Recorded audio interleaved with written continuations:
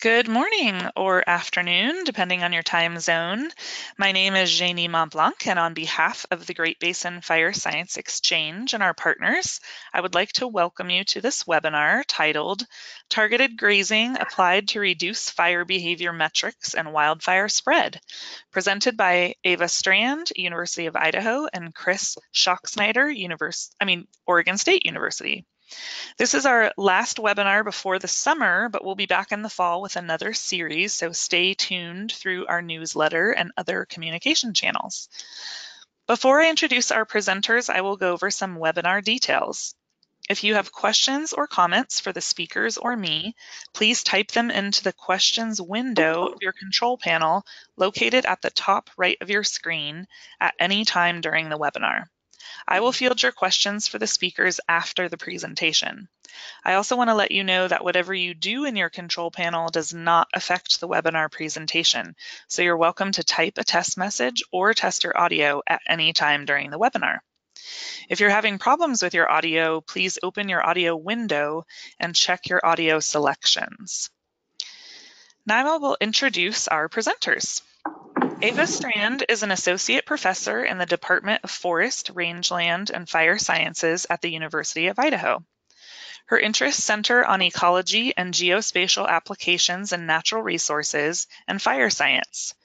Strand's research focuses on quantifying landscape change across spatial and temporal scales in rangelands and forests.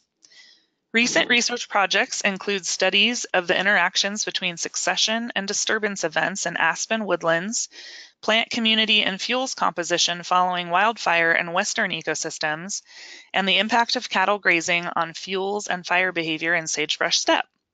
She teaches rangeland ecology and landscape ecology. Chris Schachtschneider grew up in central Washington and got his BS in animal science at Washington State University. He worked in the industry for a few years before earning his MS at the University of Idaho in 2016 in rangeland ecology and management, focusing his research on utilizing livestock to create and maintain fuel breaks. Chris is currently an assistant professor of practice for Oregon State University and the livestock and natural resource extension educator for Umatilla and Morrow counties. He is currently focusing on livestock handling research and education, as well as rangeland health through monitoring and grazing management. Welcome, Eva and Chris, and thanks for presenting today. Uh, thank, yeah, thank you. So uh, I will start off with a little bit of background on fire and sagebrush. And uh, then we will, then Chris will talk about the actual project that he did for his master's at the University of Idaho. Our other co-authors on this project is Scott Jensen and Karen Launchbaugh, and they are also online and will help us answer questions uh, at the end. So targeted grazing applied to reduce fire behavior metrics and wildfire spread. Uh, just to give a little bit of background, we all know that wildfires have been increasing uh, over the past few decades. Uh, we're not having, we're having about the same number of fires, but the area burned has increased. Uh, meaning that we have more larger fires, and especially in uh, the sagebrush steppe areas of the Great Basin, the fire size have really increased within, I would say, the past decade or 15 years. This, of course, has led to uh, very much increasing uh, fire suppression costs. I just got this image downloaded from NIFC and we're approaching uh, $3 billion annually for fire suppression costs. This is nationally, so that's not only the Great Basin. Uh, so just taking one steppe back, I always like to give a little bit of background on what what is the role of fire in sagebrush. It's such a hot topic and and widely um, kind of controversial these days. So, what is or was the function of fire in sagebrush step? Well, one effect that fire has served or serves in succession is to maintain sagebrush as a seral vegetation type and that applies mostly to areas uh, where you have pinyon juniper or ponderosa pine or Douglas fir or other woody uh, plant communities coming into the sagebrush. So, so fire there is beneficial to maintaining uh, the sagebrush steppe community. It also, fire also helps maintain seral vegetation in within the sagebrush community. So maintaining that balance between grasslands, grasses, forbs, and the sagebrush. Uh, it diverts primary productivity from woody species to herbaceous. So uh, herbaceous species do benefit from fire in moderation. Uh, fire can increase the forb component in the plant community. Uh, and it, it, contributes to establishing recruitment of new uh, younger shrubs into the cohort of species contribute to nutrient cycling and also alters fuels. One way to reduce fuels is to uh, use fire. So that gives just a little background of what the role of fire is or was in sagebrush steppe. So what's going on now? One, uh, this map I try to show as often as I can. It was developed by Chuck McHugh uh, for the fire conference in Missoula a couple years ago. And what he's showing in this map is the ratio of historical burn probability to the simulated contemporary burn probability. And what you can see in this map is these areas in green and blue are areas that actually still burn less than they did historically, while the areas in red and yellow are areas that burn more frequently or have a higher burn probability than they did historically. So we can see that those areas really have had a, a, change in fire regimes. And if you did overlay this with a map of annual grasses, the red and yellow areas would coincide very well with, with those red and yellow. So annual grasses is a big reason why we see this change in fire regime in the Great Basin. So obviously, uh, fire is of great concern. Uh, wildfires are growing in the West. These altered fire regimes are caused by both climate change and introduced annual grasses. Uh, and in the sagebrush ecosystems, this has led to, in many places, a loss of sagebrush that applies specifically to the Wyoming big sage areas, an increase in annual grasses. Although in the mountain big sagebrush, we might actually uh, still have less fire than we used to, which has led to woody encroachment in those areas. So some areas might still receive more fire than uh, in the past and some less. But what we're talking about here is mostly the areas that have uh, an increase in fire frequency and therefore the goal is to have fewer fires. So what do we need? Uh, probably most of you have seen the fire behavior uh, fire behavior triangle or the fire triangle actually. So in order for something to burn, we need oxygen, heat, and fuel. And it's hard to control oxygen and heat. Uh, the main thing we can control in management is the fuel. And this leads us into the fire behavior, kind of another triangle. If you start from the bottom looking at what influences fire spread, severity, and intensity, we have weather, uh, for example, wind speed, direction, temperature, relative humidity, and all those components, the landscape features, slope aspect, uh, landscape heterogeneity, and so on, and fuels, the fuel characteristics, fuel amount, biomass composition, uh, continuity. And uh, cattle, of course, or grazing, any kind of, of herbivore can't really do much about the weather or the landscape context, but where they can fit in is to alter biomass and, and fuels. Uh, and this, to, to try to change landscapes, we are currently implementing fire fuel breaks. So uh, these fuel breaks can uh, reduce fire behavior and in some cases even stop fires. They do, they're often strategically placed across the landscape and they need to be there before the fire starts. It's when a fire comes, it's too late to try to implement one of these fuel breaks. And uh, they can be econ- economical compared to the firefighting uh, for certain. So that leads us into what we're really going to focus on today. Uh, that grazing has also been cattle grazing has been uh, suggested as a way to impact these fuels in fuel breaks and other places. And these big questions really kind of came to the forefront after the large Murphy fire that occurred in, in, about 10 years ago. So, what effect can livestock grazing have on fuels and fire behavior? Uh, what are some reasons for observed fire or burn severity contrasts that we saw after the Murphy fire? And can, can vegetation patchiness affect fire spread? So let's switch over to Chris and have him tell us about the project that we designed in Reynolds Creek uh, a, a couple years ago.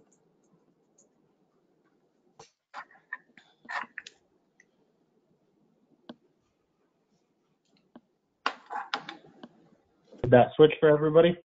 Yep.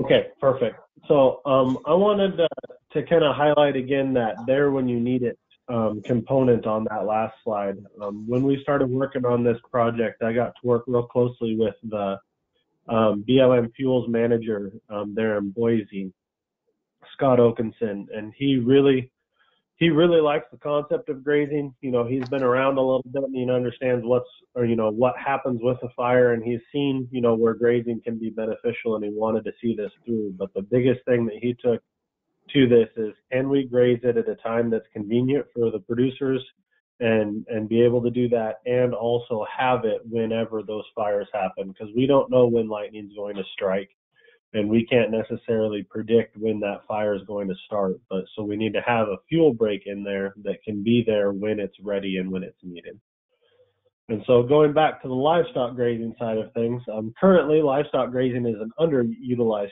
tool uh, or is a utilized tool to get um, undesired vegetation, and specifically that fine herbaceous material for cattle.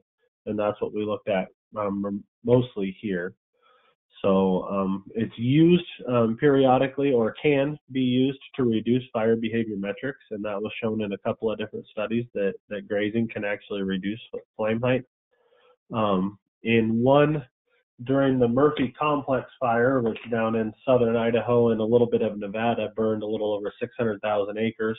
Um, they had a panel put together that that looked at this, and one of the things that they suggested was that grazing is an underutilized tool in fire management. But then also currently, even though there's fairly little scientific information um, about the use of livestock for fire breaks and for, for fire management, it is being used currently. Pretty much every year, you'll be able to find newspaper articles. Um, one big one that you see a lot is in the chaparral down in California, and goats being used down there to help control some of that chaparral around housing developments and different um, different areas of that nature. But it's used pretty much anywhere throughout the U.S.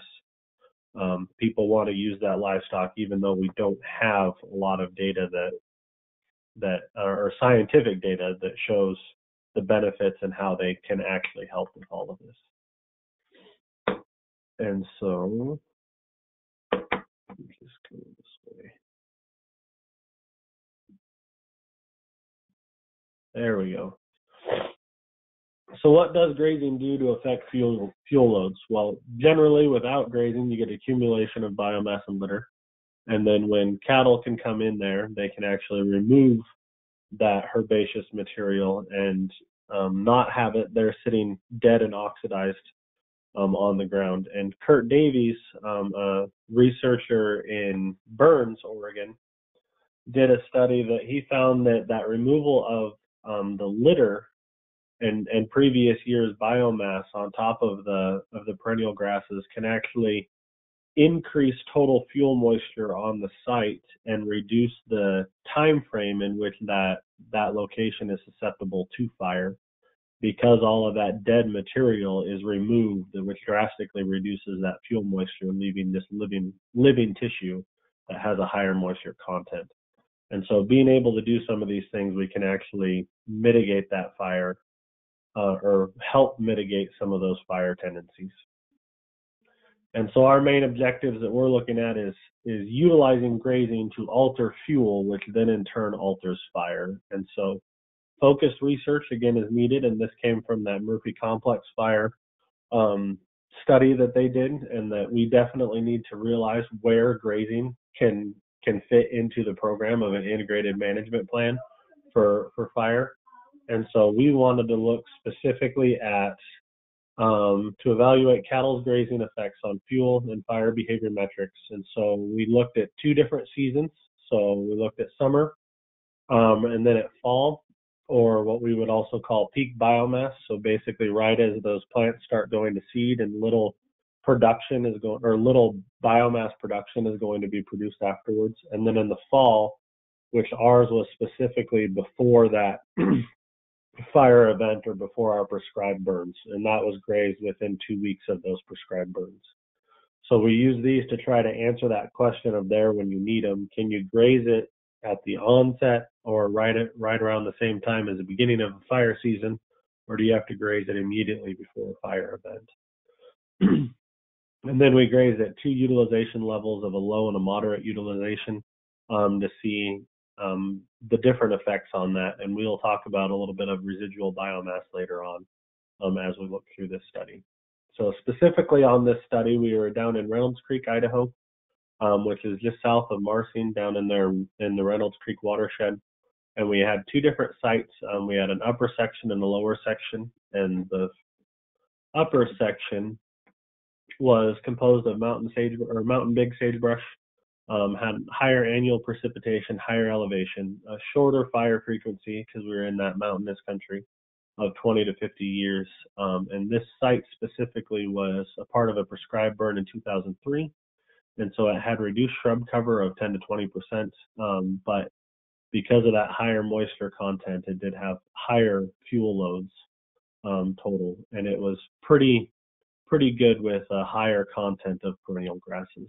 And in our lower country, um, we consisted of Wyoming big sage, less precipitation, lower elevation, um, hotter, drier, um, as we would classically see. Um, historic fire frequency of 50 to 100 years, and the producers who own this property did not remember a time that it had burned, and so it had been at least probably 60 to 70 years since that place had burned. So we were either at the high end of of historic frequency or even beyond that.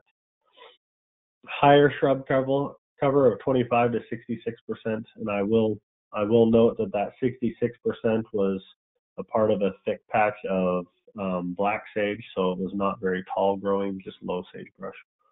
Um, considerably lower fuel loads, and then a lot more annual grass invasion within this site. Our plot design, we looked at 10 different plots per block, um, and we would prescribe burn um, half of those plots so that we could do some further studies to evaluate the differences of grazing and not grazing in these areas with that targeted grazing.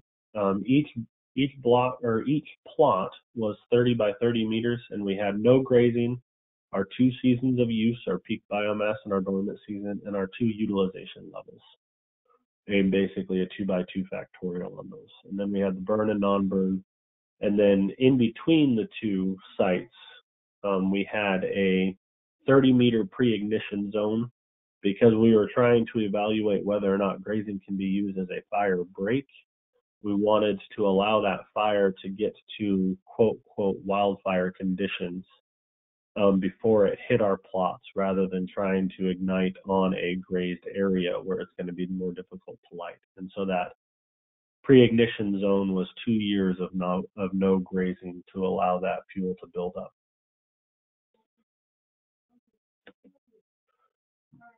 Did some extensive monitoring on that um, on these plots with two 30 meter transects placed at 10 and 20 meters.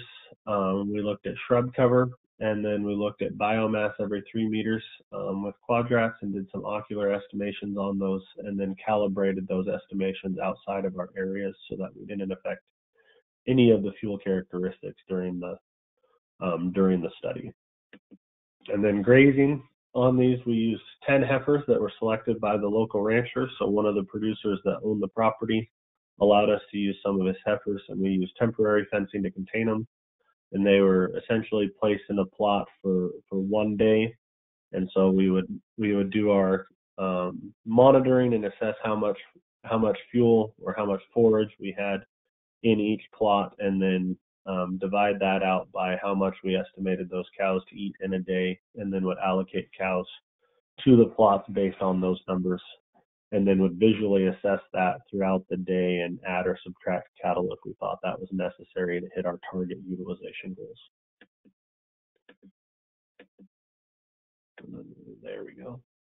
So the control burn was done in September of 2015, and we worked with BLM and the local um, RFPA there. And then the pre-ignition zone again tried to mimic as, as much of real fire ignition or as real fire conditions as we could.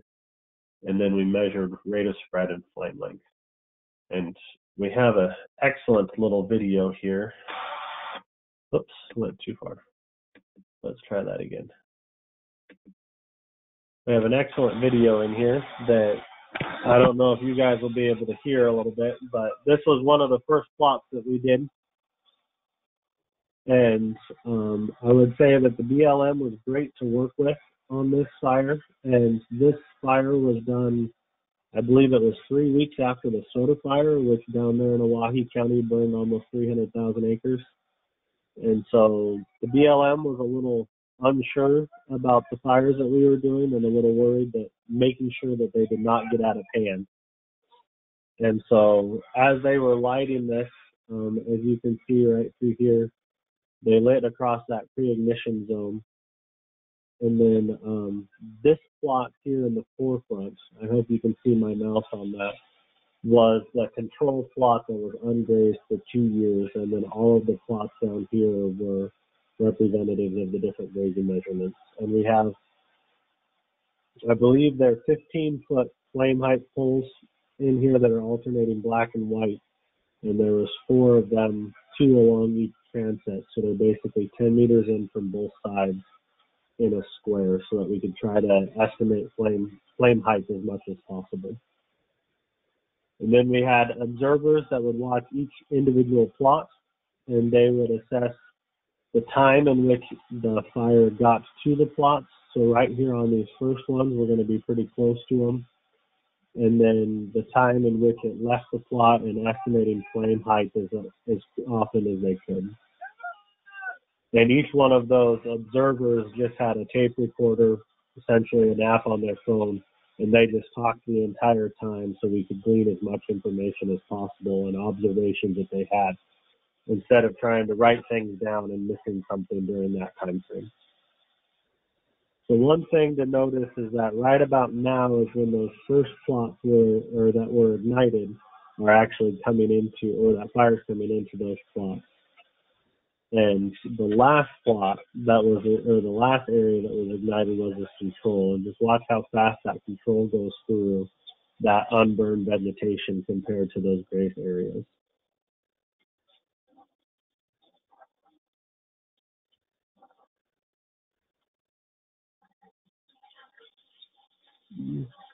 And we did have a little bit of a perimeter area that that they could burn this without really hitting that plot too fast, but this fire comes in a little bit quicker.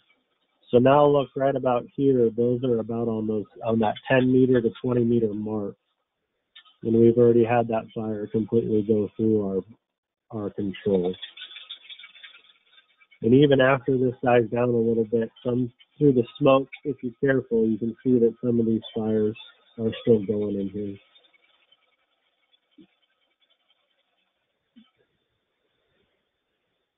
And then there was one of our super heavies that was in there to help us assist.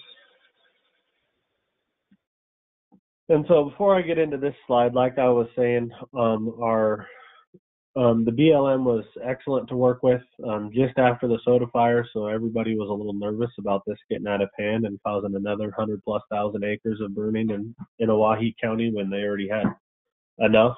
And so on this project, we were burning basically a 60 meter by 100 meter plot or area with that 30 meter wick and then our 30 meter plots. And we had 27 BLM fire personnel we had two super heavies, two regular trucks, two dozers and one water tender.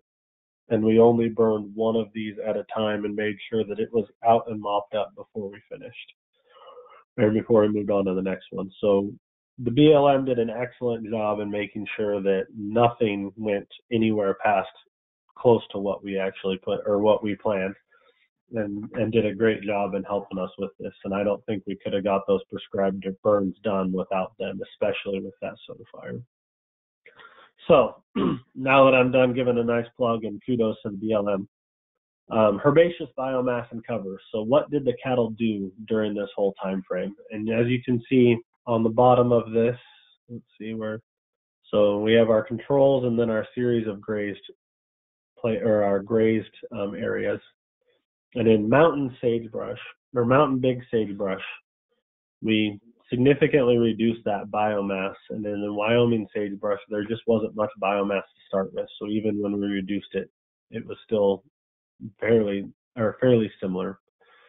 And in our litter cover areas, we greatly increased our litter in these areas um, in both the Wyoming and Big. And there are some studies out there that show that grazing um, that grazing does reduce litter and I believe that those are more of a long-term effect, not an immediately after effect.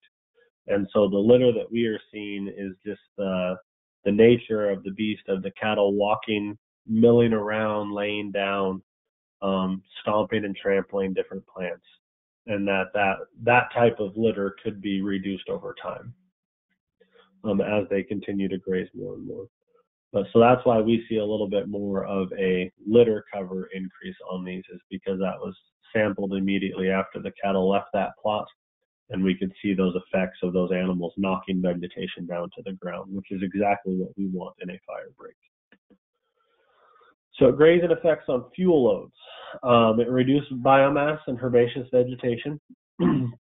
no difference um, in fuel loads between our, our peak biomass or our summer and our dormant season and fall grazing. so that means that our our plots that we grazed early on in the fire season basically had that same that same effect of reduced herbaceous cover on them as the ones immediately before the fire. So that helps us answer that question of there when you need it that Lance pounded in my head several times throughout the two years that I was there. And then we see a, a drastic um, conversion from standing biomass to compacted litter from those animals moving and milling around in those areas. And then um, for the short term, we had no effect on shrub cover, woody litter, or bare ground um, with the cattle in those areas. So what does that translate to on the fire side of things? Well, we found out that shrub cover is highly important when it comes to um, the effects of a fuel break and the success of a fuel break in these areas. And so in this first section of the graph, this is sorted by shrub cover. So the higher the shrub cover is percentage-wise of the of the area, um, we just naturally had higher and higher flame lengths, and we got up to four meter flame heights. So we're looking. Oops. To go back. So so pretty intense fire fire characteristics in that high shrub cover. But in our mountainous sagebrush, um, over here or over here, depending on how you look at that, we actually had an effect and we could reduce that flame height by reducing that herbaceous biomass. So over here on this slide or on this figure, herbaceous biomass on the bottom and flame height on the top. Even with less herbaceous biomass overall than our mountain sagebrush, we still had higher flame lengths because of that um, because of that um, shrub cover. Sorry. And then um, on the mountain sagebrush side of things, where shrub cover wasn't as big of a factor, um, our herbaceous biomass actually had some prominence in reducing those flame heights.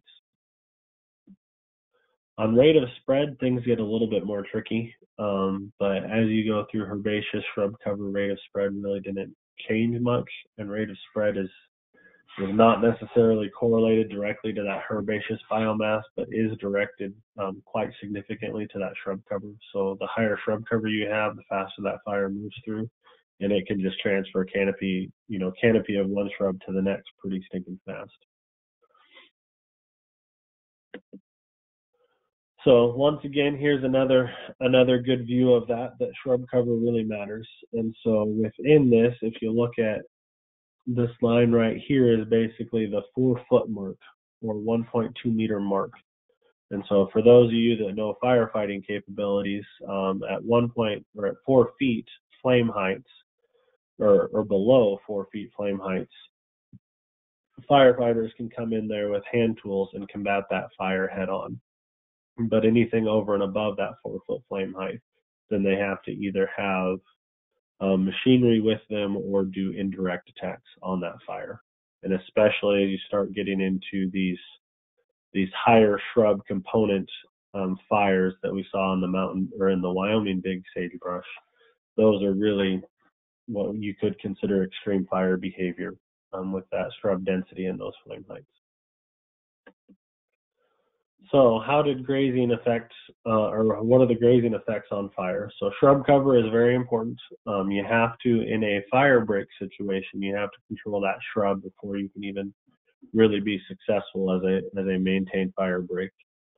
Um, so once that shrub cover is taken care of, grazing can be very beneficial in reducing the herbaceous biomass and changing the structure of it from standing biomass to compacted litter and help with the um, success of a fire break.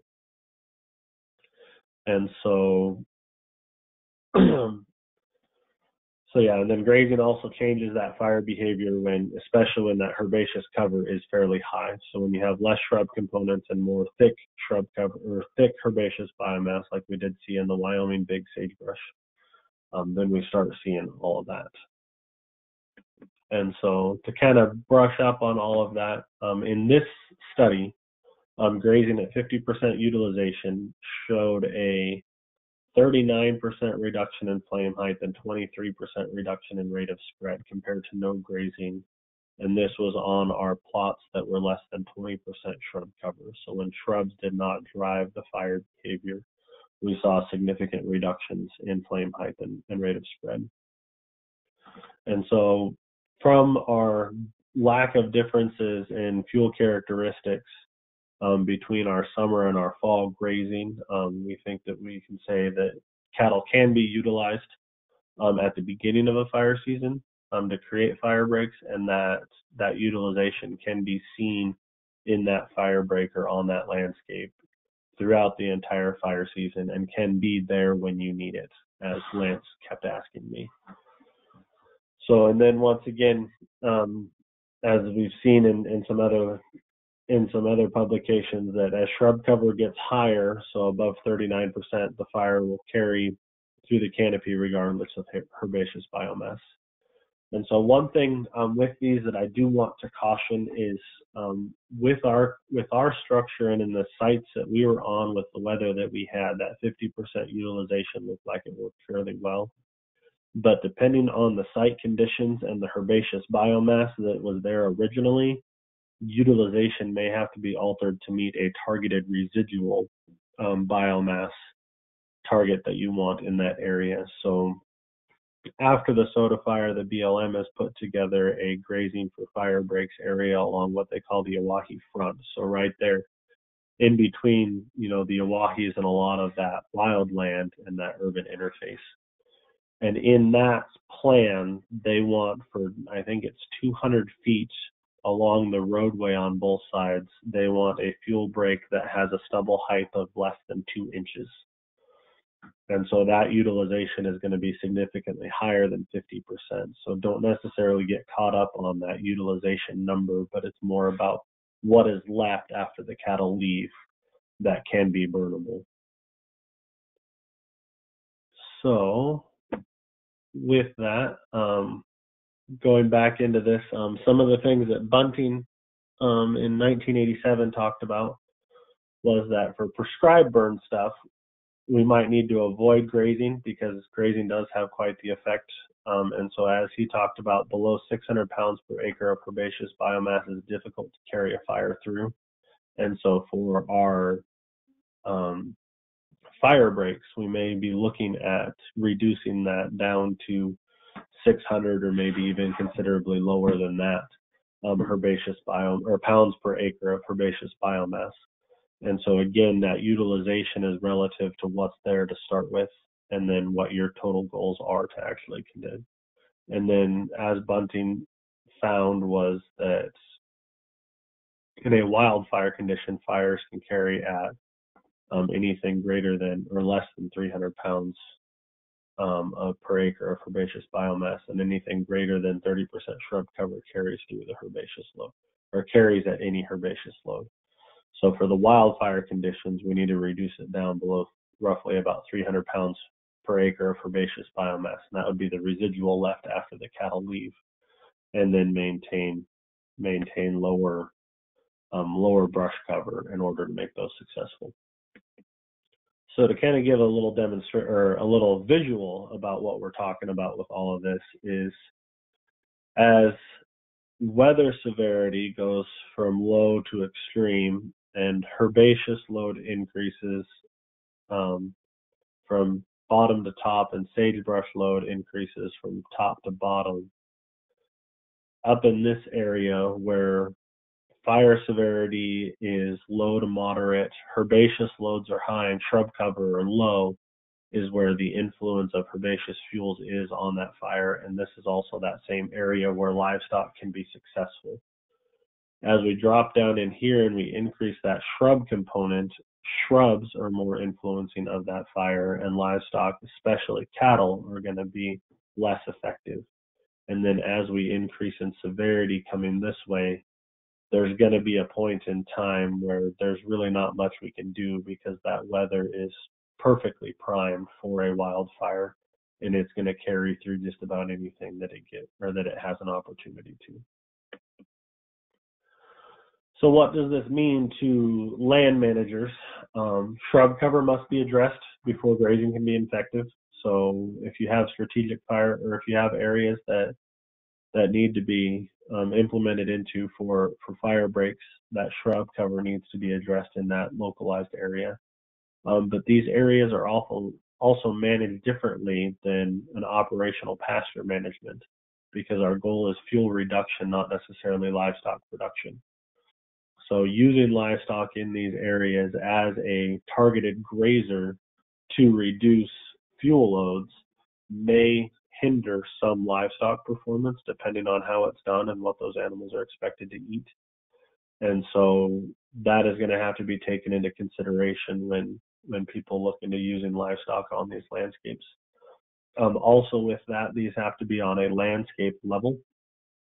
And so, just because one producer or one allot, BLM allotment or Forest Service allotment has a great plan if it's not connected to the rest of the landscape, it may not or it may not necessarily be successful because it may come through a different allotment or a different um, property owners, and then still go around that fuel break and burn the areas that you're trying to protect.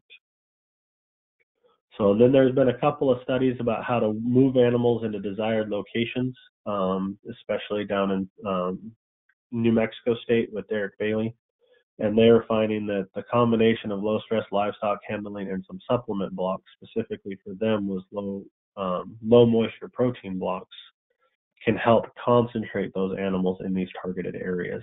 So if that 200 foot section is what needs to be implemented, such as on the Owyhee front right now, then grazing in that area combined with some supplemental blocks because that cheatgrass loses protein pretty stinking quick and it's more of a cheatgrass monoculture in that area, then that can help keep those animals in a positive weight gain and a positive nutrient balance so that they can do the job that you're asking them to do. So, and then last but definitely not least is um, cooperation with fuel managers is key. And so if you have public lands in your areas, um, Department of Lands, BLM, Forest Service, cooperation between all properties across that landscape need to be interconnected on how fuel breaks can be implemented for that whole area. And so with that, I'd like to thank all of these people um, and organizations that helped us tremendously for what they have done to help make us or make this project a success. Um, and with all of that, I'd like to ask if there's any questions. Great, thank you, Chris and Eva. All right, first question, could you summarize the effects of the prescribed grazing on fire behavior in the Wyoming Big Sagebrush study sites? the fire effect. And so the fire effects on the big or on the Wyoming sagebrush sites were that we had high density of shrubs and very low density of herbaceous shrub cover. And so the livestock went in there and did their job, but the fire carried completely through the canopy of the of the shrub. And so we saw increased um, flame heights and rate of spread compared to our mountain or compared to our mountain sagebrush sites, which had three to four times the herbaceous biomass, but considerably less shrub cover. Does that answer the question? I think so, but I'm I, was actually curious about this too. What about compared to the control sites? How is the flame height and spread rate of spread? Um, if you go, let's see if I can remember how to move this thing back. But if we go, we'll just jump back real quick. So right here is a pretty good one um, for all of that. So these are our controls. The solid black line is all of our control plots, and then the dashed line is our low utilization, and the dotted line is our is our moderate utilization. And so right about this section right here is where we transfer from the Wyoming big or from the mountain big to the Wyoming big. And basically you can see that everything just kind of blends together. And so the, the livestock grazing just is ineffective because there's too much shrub cover for that fire to carry through. Gotcha. Thanks. Um, and I'm not sure if I mentioned it again, but for anyone who came in late, if you have a question, please open your questions window and type type in your question. Um, okay, thanks. The next question: If cattle um, increase uh, litter temporarily by trampling and laying on it, how far, um, how many years into the future does it take for that litter to decrease? That is actually a very good question um, that I don't know if I, Karen, you might be a little bit better to answer that one specifically. Um, I know that as cattle are utilized on that landscape, there's going to be less and less of that um, older decadent material. And so then the cattle are going to better utilize the new lush green grass that's out there. Um, but Karen, do you want to step in and, and talk a little bit more about those interactions? Yeah, you bet, Chris. You about have it right, which is uh, oftentimes if you have really um, uncontrolled grazing or very heavy grazing at a wrong time of year, you'll have decreased biomass production, which would, of course, lead to less litter. But anytime you have utilization, if the animal doesn't use it, it will become litter. So it's kind of just simple math in the case that you did, uh, Chris, you also mentioned that it's not just what is eaten, but it's what is what goes down onto the ground and is incorporated into the ground. Uh, so long term, uh, you might change um, some amount of litter, and then don't forget that um, grazing can also uh, increase the rate of, of shrubs on the community, which would decrease the amount of herbaceous literature. So kind of all three of those things are going on. Okay, great. Thank you.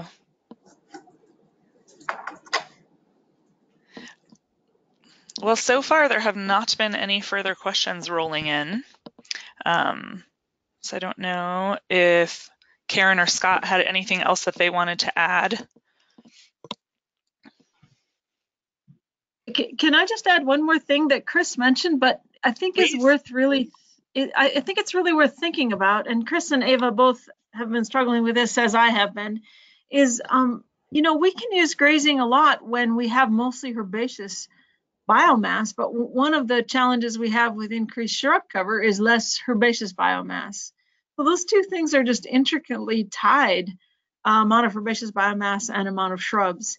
And uh, the, the role that grazing plays is, is really um, at that lower level of shrubs and where there's more herbaceous matter. So I think Chris said it. I just wanted to reemphasize that you know grazing plays a role uh, in certain conditions of the fire, but also when we have more herbaceous biomass. Great, thank you. Um, we did have another question come in. Have you thought about the interactions with predators like wolves and or elk interactions with this management system? Are they even a factor or do you suspect populations increase population increases to be influential? I know wolves have had influence on elk herbivory in Aspen and Yellowstone.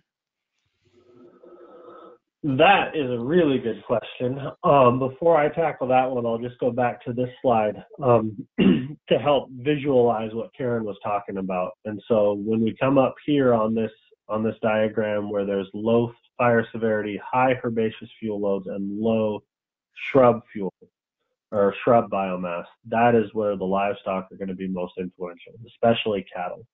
And so as we get into higher shrub cover down in here, the fire is going to be influenced more by the shrub and it's going to be less influenced by that herbaceous. And so there might be opportunities, kind of like I talked about earlier with the goats and the chaparral, of utilizing a different type of grazer, but cattle specifically are not going to be very effective in this sagebrush or in this higher sagebrush areas, especially, you know, as we showed in ours with that mountain sagebrush at above 30%.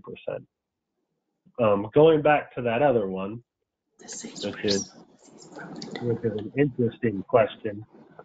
Um, I think when it comes to the implementation of fire breaks, I don't think that predators are necessarily going to be as big of an issue unless those predators are starting to prey on those animals without any human influence in that area.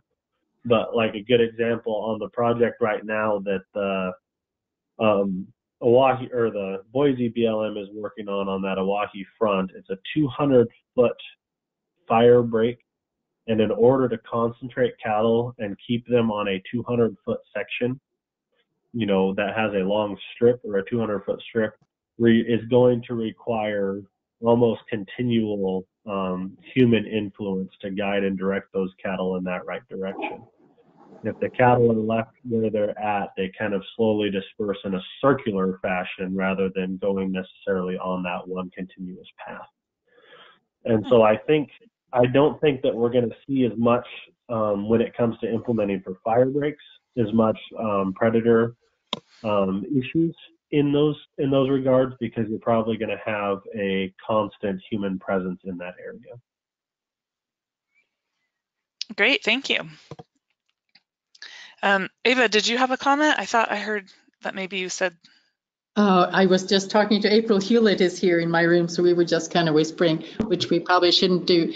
But I was uh, the question about Wyoming big sagebrush. I, I think it was a little unfortunate that we didn't also have a Wyoming big sagebrush plots that had low shrub cover, because I don't really think that the shrub, the sagebrush species is that important. Its height is going to be important, and possibly the mountain big could have been uh, having a higher fuel moisture, but I don't think it did because we did uh, measure the fuel moisture and they were about the same in both plots. So, so the the information that we the results from mountain big sage could possibly also apply to Wyoming big sage, I think, uh, looking at the relationship between shrub cover and herbaceous biomass.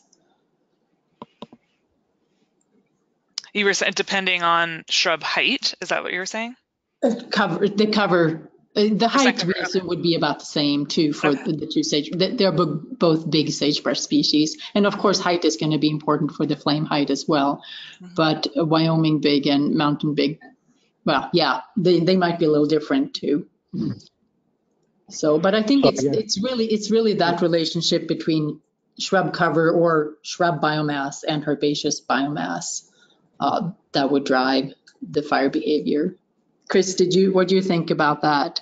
Well, yeah, I was just going to say that, that that shrub species really isn't that big of a difference, you know, that I that I could see between those two subspecies, um, especially. And so if we had if the roles were reversed and we had high shrub cover in our mountain sagebrush and low shrub cover in our Wyoming, I think our results would basically be the same. That in that low shrub cover areas, livestock use, especially cattle, can be effective, but not necessarily in that higher shrub cover component.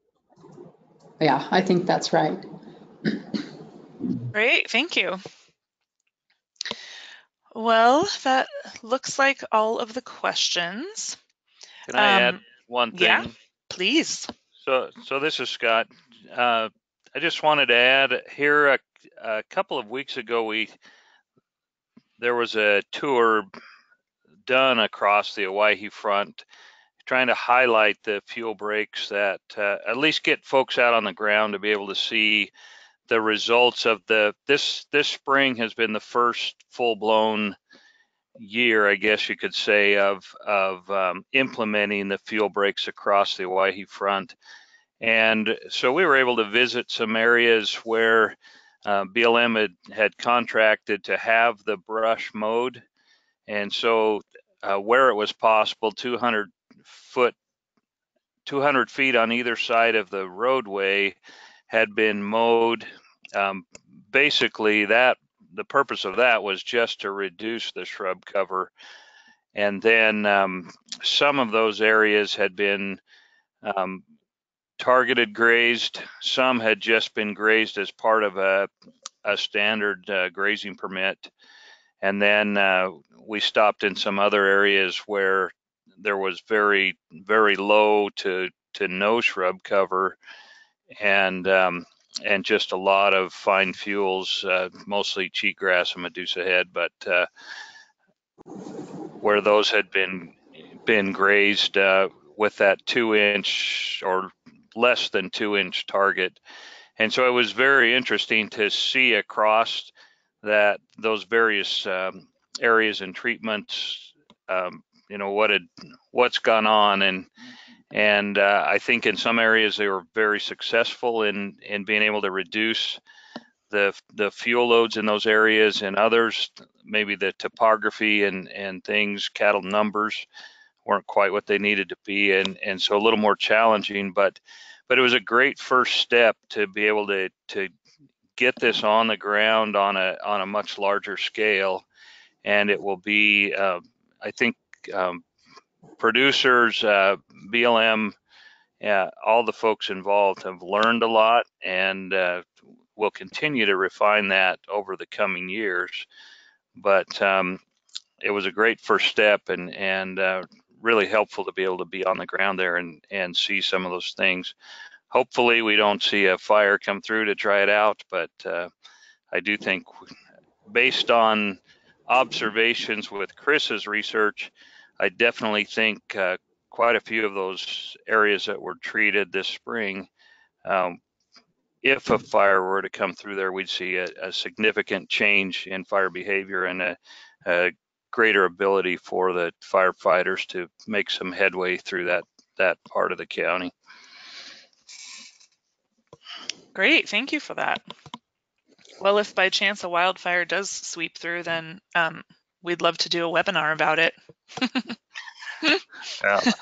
I'm going to cross my fingers it doesn't happen. But yeah, sounds good. Sounds good. all right. Well, um, thank you so much, all, and thank you for the audience for your participation. We would greatly appreciate it if you would take our three question survey that will appear after the webinar has ended. I will post the recording of this webinar on our Great Basin Fire Science YouTube channel this afternoon, and the link will be automatically sent to you through the GoToWebinar system tomorrow. If you have further questions regarding this or other webinars, please email or call me anytime. And again, thank you all for attending, and thank you so much, Eva and Chris, for presenting. You're very welcome, and thanks for having us. Great. All right. Well, have a great day, everyone.